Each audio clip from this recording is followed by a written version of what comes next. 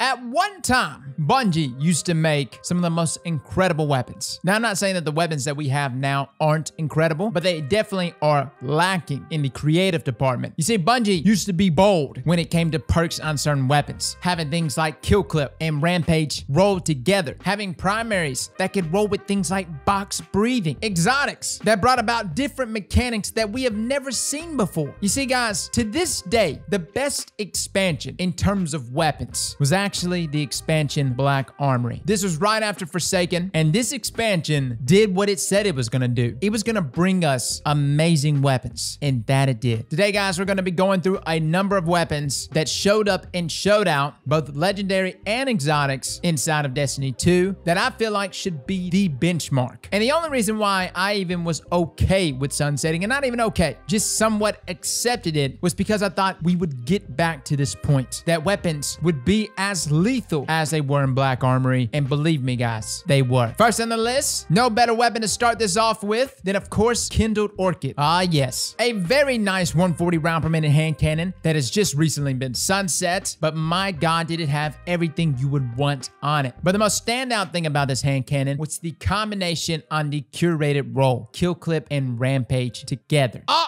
this weapon had it all, baby. Bungie decided to get crazy, allowing us to have two of the best damage dealing perks rolled together. Oh, but don't worry, guys. This list gets even better. Next on the list, a weapon that we reviewed a few months ago at the height of the auto rifle meta, Galliard 42. To say this weapon was S tier is an understatement. We've talked about the Holy Trinity in the past before, and Galliard satisfied all of those. Rangefinder, dynamic sway reduction, and zoom modified scopes. You see, the weapons that we have now, at least in the auto rifle department, may have two of the three, but none of them have three of the three, except for Galliard. And considering it's one of the best fill-in auto rifles in the game, I deemed it the best auto rifle inside of Destiny 2. Now, granted, at the time, no one really saw the value in Galliard, not even myself. And it wasn't until you actually saw the 600 round per minute auto rifle buff that we got to actually see how nasty this weapon actually is. Next on the list, we gotta bring it up. It's a weapon many people hate, but by God, is it so fun to use and super creative on Bungie's part. And that is the fusion rifle Jotunn. Jotunn is a hip-fire fusion rifle with tracking, which yes, most players raged about, but it's actually not too terribly difficult to counter, especially in this sandbox with things like stasis, where everything pretty much has a lot more mobility. But back in the day when everyone was just kind of more or less running around without anything like Icarus Dash, the only thing that was really that mobile was just the Hunter class in general. Jotunn would actually catch a lot of Guardians with the pants down. Hands down though, this is one of the most creative and sexiest looking weapons in the game. And even though I find that there is a lot of other exotics, I would still choose over Jotunn. Jotunn is one that I definitely identify strongly with whenever I think of Black Armory. Speaking of an exotic that we identify strongly with when we think of Black Armory is none other than Izanagi's Burden. Ah, y'all remember the quest for this one? Lengthy, confusing, but so, so worth it. A sniper rifle that merges four bullets into one for nasty damage. And by God, has it been a nasty weapon. Even now, it's still nasty. Although it has been nerfed in the reload department, I still like to use Izanagi's in Grandmaster content, especially when you combine it with things like Divinity. But even on its own, Izanagi is still a force to be reckoned with, and inside of Black Armory, this was an exotic that blew us away. Now, similar to Galliard, I didn't really know how good Izanagi's Burden actually was at the time. But heading into Shadow Keep, this became a sniper rifle that I constantly had on me at all times inside of PvE. Next on the list, we've talked about Kindled Orchid, we've talked about Galliard, but another legendary weapon that changed the game was Ringing Nail. Now, I had multiple combos, but I never landed the God Roll combo. And that combo was both Rampage and Dragonfly together.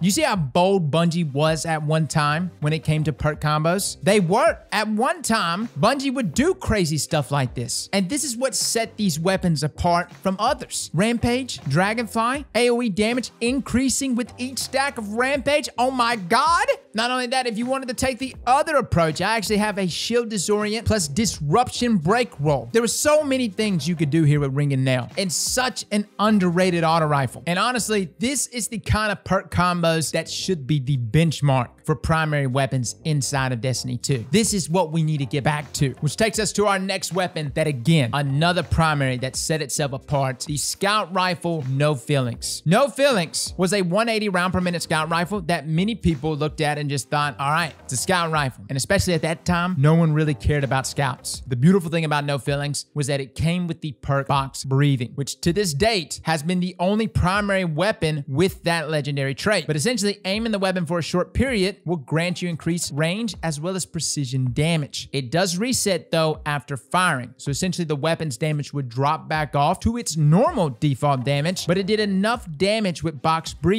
to enable this 180 scout rifle to three tap. Box breathing has since been sunset. You can of course still use it inside of regular Crucible, but I find myself just dreaming about the possibilities of this scout rifle inside of something like Trials. The ability to kill Guardians in 0.67 seconds. You see, this was a time frame when Bungie was bold. Like so many weapons these days, we just get and they're just like, ah, here's this base generic roll you done seen a million times. That's the thing about these primary weapons back in Black Armory. Bungie was willing to take risk, and they did it by allowing us to have box breathing on a primary weapon of all things. Which takes us to our next weapon on the list. Another exotic that came in Black Armory, Le Monarque. This was an exotic bow. And even though bows had just come out in Forsaken, there still wasn't that many people using them. Even with things like Wishender about, a lot of people just didn't like the way bows felt. They felt kind of sluggish, especially things like Wishender. Le Monarque changed the game though. It was snappy. It felt good. Not only did it feel good though, it was lethal as hell. And that was because the weapon would apply poison damage. This exotic combined with a couple of other things, if you were boosting it, could run around one-shotting inside of Crucible. But even outside of that, this was a great exotic inside of PvE. The spreading of that poison damage, the fact that it was void, combining it with certain things like Nezarec Sin, and with the possibility of a corruption-based subclass coming in the future, I really think something like Le Monarque is only going to get better. The main thing is though, as with all the other weapons we just mentioned, Bungie took risks when it came to the creativity in what they allow these weapons to have on them. Which takes us to another legendary weapon, Tatara's Gaze. Ah yes, maybe not the best feeling sniper rifle in the game, but it made up with it by simply just having kill clip on it. By simply having kill clip on this aggressive sniper though, upon landing a kill and reloading, Tatara's Gaze can one-shot body shot. And it really blows my mind how crazy Bungie got back then when it came to perks on certain weapons. But I loved it though because despite these weapons being as good as they were, there were still other fantastic pinnacle level weapons which just drove this demand of making sure that other randomly rolled weapons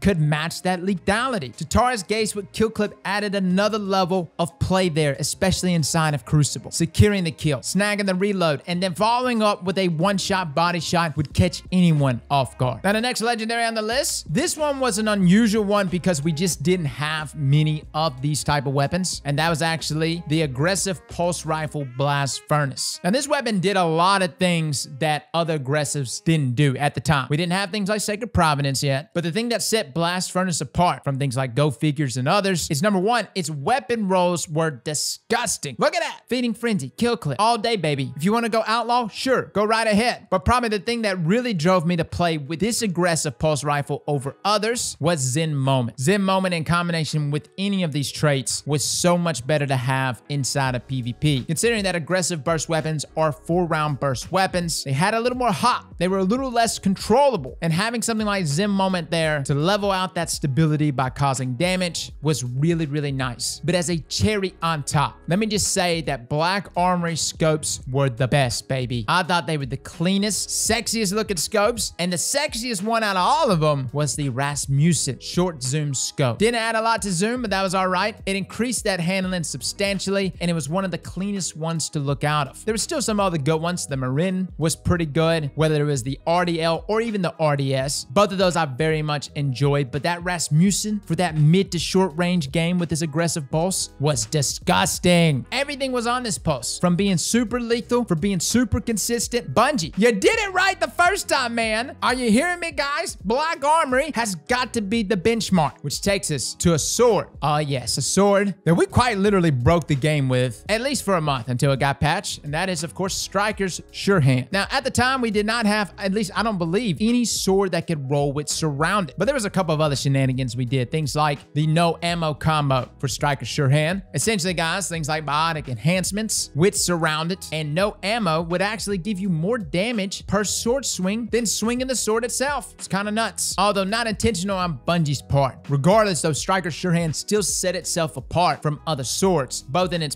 perks and in the sexy department, as that is one sexy sword, baby. That's a Templar weapon. Look at that. Which takes us to the final weapon on this list, although one of the nastiest weapons to go against, and that is actually the machine gun Hammerhead. Hammerhead sounded as deadly as it was. And th that's the thing here inside of Destiny 2. You ever shot a gun, you're like, okay, that sounds like a pea shooter, but it's pretty good. Or the opposite. You might have a gun that sounds great. It sounds like a weapon. Sounds like the kind of thing you want to bring to a gunfight, but it's actually quite poopy. Hammerhead, though, oh, that weapon struck fear in eyes. Struck fear in mine. Inside of PvP, somebody rocking the right roll, whether it's Rampage, tap the trigger, or some other variation, I would run. That weapon was going to put me down fast, and it had a number of rolls inside of PvE that made it a monster as well. Now, granted, it kind of got dethroned because of 21% delirium, but now they're both dethroned because they're both sunset. You know what I mean? Regardless, though, the point I'm trying to make with all these weapons is that this this is it. Like, I, I don't know who at Bungie made these guns or who thought of putting box breathing on a scout rifle, who thought about combining Rampage and Dragonfly together, who gave us a combination of Kill Clip Rampage, which, yes, I know it's on Transfiguration. We're going to re-review it. Regardless, though, whoever these group of individuals were, they were bold. They were up in the ante when it came to giving us lethal weapons. And even though at the time we had very, very powerful pinnacle weapons, we still had randomly rolled weapons that we sought after in that expansion. A final weapon on the list that was actually the Raid Exotic that to this day is still, in my opinion, the best PvE weapon in the game is Anarchy. How wrong can you go with Anarchy? No matter what content you're in, whether it's raids, Grandmaster Nightfalls, or just messing around, Anarchy is an exotic that will carry you beautifully. This is the level of lethality that I think Bungie needs to get back to. And to be perfectly honest, I, I feel like our exotics are matching that lethality, considering how strong weapons are, even in Beyond Light. Things like Lament and Cloud Strike, even Eyes of Tomorrow, despite it being kind of bugged when it comes to doing boss damage. Those weapons are very, very strong, and I'm glad to have them. At the same time, though, legendary weapons need to return back to this format, need to return to that same level of nasty as they were in Black Armory. So Bungie, if you're watching this, yo, single out whoever the hell that is that made these weapons, man, like for real, and literally just hand them the legendary weapons for the rest of Destiny 2 and let them do their thing. So guys, let me know in the comments below what you think. Feeling kind of nostalgic, man. Black Armory, again, one of my favorite expansions, one of the best Bungie's ever done. I loved Forges, especially day one Forges when they were super difficult. I loved the weapons that came with it, both the exotics and the legendaries, and even the lore surrounding Black Armory was amazing. Fellas and ladies, thank you all for coming and watching, and as always, Slap that like button like your mama told you right.